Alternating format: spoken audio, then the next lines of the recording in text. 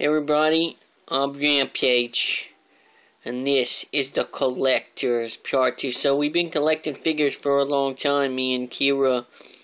But the major problem with it is, is that every time you post a picture of an action figure that you had bought, somebody, some ignorant pansy ass, decides to say, oh, that's a doll, nice doll, and they laugh. They think it's funny.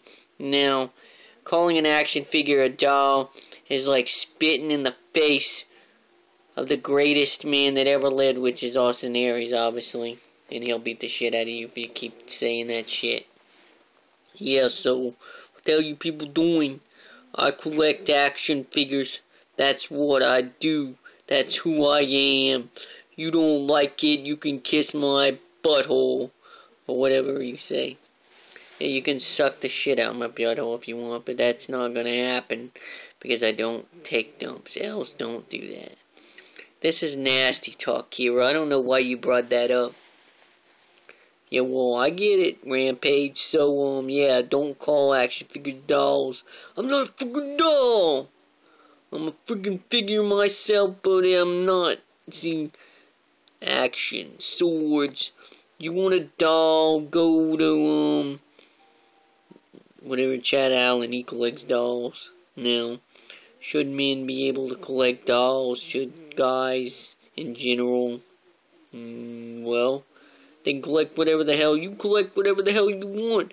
But we're the collectors. We collect action figures now. I bought this new figure. What do you think about him? Well, I don't understand him. He's um a referee now. How the hell this action figure get a referee job? He hasn't been refing matches lately, just that first two nights, and that was it. But every time that someone would win, he would say they lost. And then he would raise the hand of the loser, which doesn't make any sense. And then people get pissed off, and then they would try to beat him up, and he would do some kind of weird clothesline type maneuver. And we're doing action figure reviews. That's what we do on this channel. Yeah, well, we need more views, more comments. Kira, the fans are not appreciating us. You fucking pieces of puke. Hey, you don't say that about our fans. We don't have any fans, Kira. We didn't get one damn comment on our first video together. Hmm. Probably because the hollows. It's a hollow that's causing this problem. They're sucking away the views. Yeah, and if you get too many views, they say that you um, bought the views. And if you get too many subscribers, they say you bought your subscribers. Yeah, well, you can go on this website called buysubscribers.com and get and get um it's like ten dollars for like fifty subscribers or something, or maybe it's a hundred. Kiro, you're making up shit again. There is no such site as freesubscribers.com. No, or you can do this. You can make 14,000 accounts. And then you can subscribe to yourself. That's how Sean's View did it. Well, Sean's View, this guy's got a lot of time on his hands. Yeah, that's what I was thinking.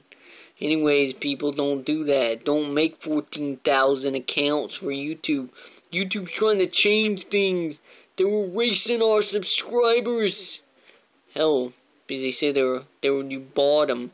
I didn't freaking buy no freaking subscribers. Uh, okay, so I sent them like each two dollars a piece, and then they subscribed to my account. But that's that's beyond the point.